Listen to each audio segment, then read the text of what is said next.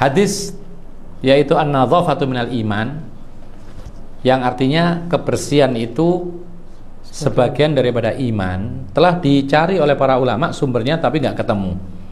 Di kitab-kitab hadis mana pun dari yang paling sahih sampai yang paling dhaif nggak ada.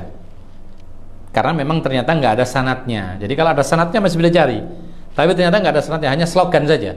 Slogan orang-orang yang menganjurkan untuk kebersihan. Artinya maknanya bagus ya supaya orang itu menjaga kebersihan ini loh iman kalau kalau engkau beriman jaga kebersihan gitu kalau nggak nggak menjaga kebersihan berarti kurang iman atau nggak ada iman Artinya maknanya bagus, motivasi untuk kebersihan.